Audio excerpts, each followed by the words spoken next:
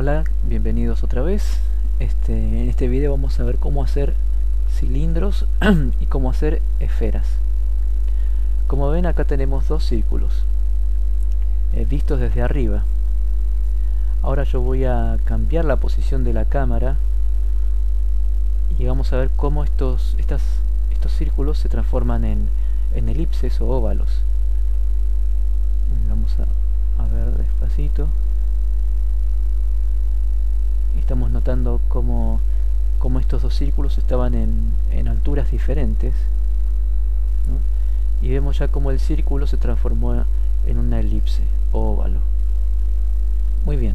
Para hacer un cilindro necesitamos simplemente dos, dos elipses o óvalos y los unimos con dos líneas como vemos ahí dos líneas uniendo a nuestros dos círculos o elipses.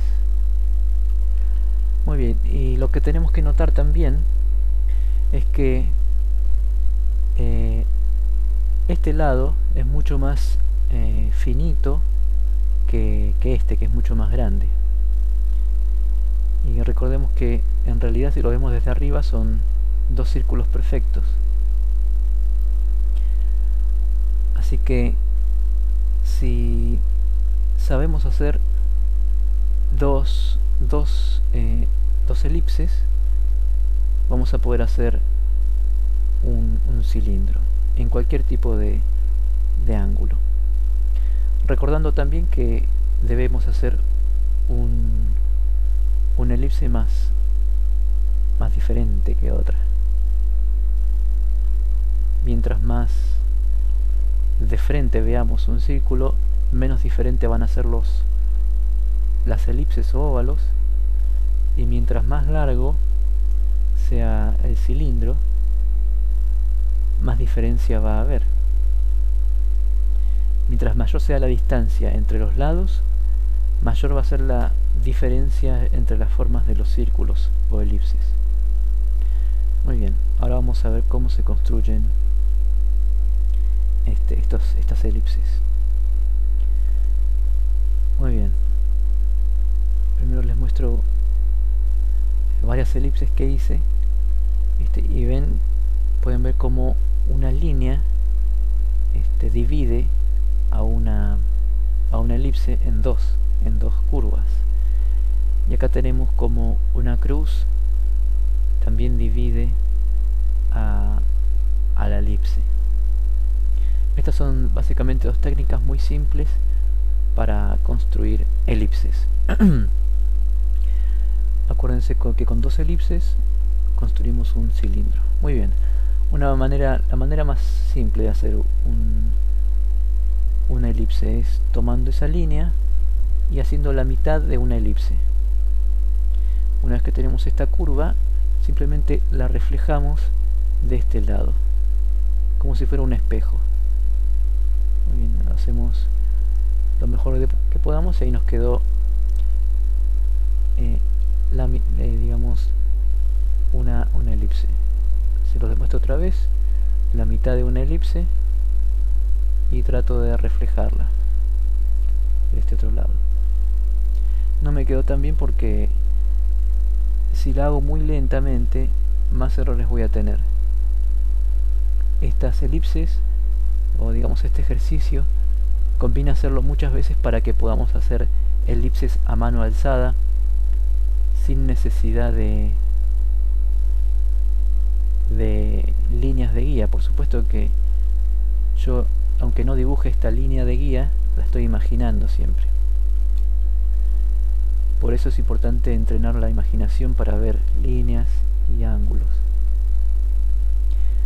Bueno vamos a probar el otro método tomamos una cruz que tiene ángulos de 90 grados estos ángulos son de 90 y hacemos algo muy parecido que la técnica anterior. Hacemos una curva o un cuarto de óvalo y una vez que tenemos esta, esta curva la reflejamos de este lado como si fuera un espejo. Y una vez que tenemos toda esta curva más grande la reflejamos de este otro lado muy parecido que, que en la técnica anterior. Se los demuestro otra vez. Hacemos una curva o un cuarto de óvalo. Reflejamos esto esta curva del otro lado como un espejo. Y ahora reflejamos toda la curva de este lado. Muy bien. Muy bien lo que podemos hacer ahora es hacer un ejercicio para que nos salgan las, curvas a mano alzada que es hacer la, la cruz y tratar de, de hacer la, el cilindro bueno como ven acá no me quedó muy bien porque este lado es mucho más pequeño que, que este ¿no? pero no se presionen si les queda algo mal no pasa nada podemos hacerlo otra vez y la idea es pasar el lápiz por el mismo lugar y tratar de sentir el movimiento para que digamos nos memoricemos cómo debemos hacer la esfera a mano alzada. Muy bien. Y una vez que hacemos este ejercicio varias veces vamos a poder imaginar la cruz y hacer este, estos, estos, estas elipses mucho más rápido y sin necesidad de guías. Muy bien, una vez que tenemos estos, estas elipses, lo único que tenemos que hacer es hacer un, una elipse más chiquita y otra elipse un poco más grande y luego unirlas por dos puntos y ahí tenemos nuestro cilindro si queremos también podemos dibujar el eje que es algo muy común que se, que se usa. Este, así que ahí tenemos nuestro, nuestro cilindro. Como vemos este, esta elipse está un poco inclinada en comparación con esta. Este, la podemos corregir un poquito si queremos a ojo. Bueno y así se hacen los cilindros. Tomamos este por ejemplo a ver lo vamos a hacer otra vez. Acá que se note mejor.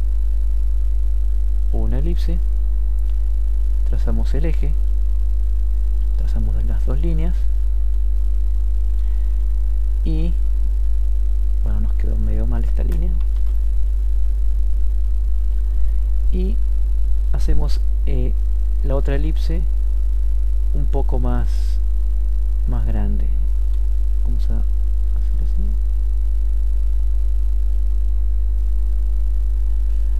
Y ahí tenemos nuestro cilindro. Una vez que tenemos esto podemos borrarlo si, si queremos. Para tener este no un cilindro transparente sino un cilindro más bien sólido y ahí tenemos nuestro cilindro. Muy bien y si queremos lo podemos cortar al medio. Podemos hacer otra elipse más. Y cortamos a, la mitad un cilindro.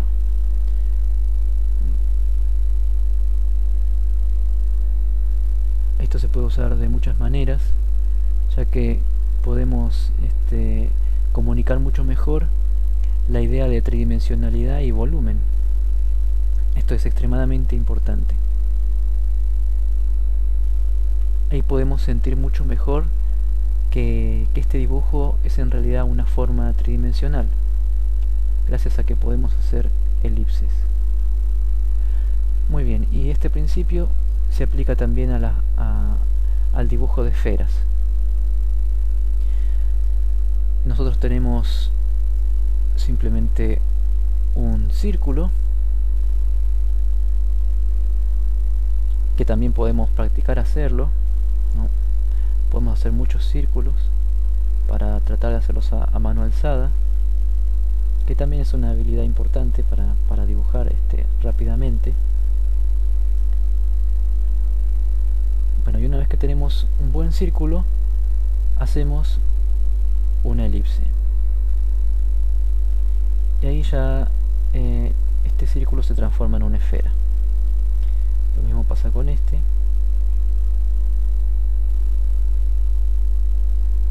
Haciendo simplemente eh, elipses dentro de un círculo. Vamos a hacerlo acá. Y como ven en este ejemplo también puedo cortarlo al medio como el cilindro que, habíamos visto antes simplemente haciendo eh, una elipse dibujándola dentro del círculo y borrando la mitad del círculo. Ahí tenemos una, la mitad de una naranja. Y con esta técnica, con estas técnicas que venimos aprendiendo como hacer planos eh, cómo hacer cilindros y, y cómo hacer elipses podemos hacer algo como esto. Y en realidad todo tipo de, de forma tridimensional. Simplemente dibujamos para hacer esto dibujamos la mitad de una elipse. Hacemos la mitad otra elipse más. La unimos. Hacemos otra elipse acá y ya tenemos esta formita una fruta. Y, esto lo hacemos haciendo simplemente estos estas formas, estas elipses, estos planos. Este, y para hacerlo a mano alzada simplemente tenemos que practicar muchas veces. Ponemos una hoja de papel hacemos círculos si nos, queda mal no importa tratamos de en vez de dibujarlo enseguida tratar de ver la forma que estamos haciendo eh, haciendo el movimiento sobre el papel y tratamos de, ver la forma que estamos construyendo. Estamos haciendo un círculo o un óvalo mal hecho. Bueno, y una vez que, que nos sentimos un poco seguros, hacemos el dibujo del círculo. Tratamos de obtener el movimiento correcto y hacemos el círculo. Lo mismo con los óvalos o elipses. Tratamos de obtener el movimiento correcto y una vez que nos sentimos más o menos seguros, lo dibujamos. Siempre imaginándonos el eje en el cual vamos a reflejar las dos curvas. Muy bien, y si practicamos esto varias veces, cada vez nos va a costar menos hacer elipses o, círculos. Muy bien, y como les decía antes, esto es muy importante para poder transmitir la idea de que un objeto este, que dibujamos es un objeto con volumen y tridimensional. Este, más adelante vamos a ver cómo construir objetos aún más complejos que estos. Este, y bueno, no se olviden que esto que parece simple después vamos a poder transformarlo en objetos de todo tipo, de todo tipo que, se puedan llegar a imaginar. Muy bien, espero que, practiquen esto, que, les sirva. Y si tienen algún comentario o pregunta, lo pueden hacer en la sección que está debajo de este video. Muchas gracias y hasta la próxima.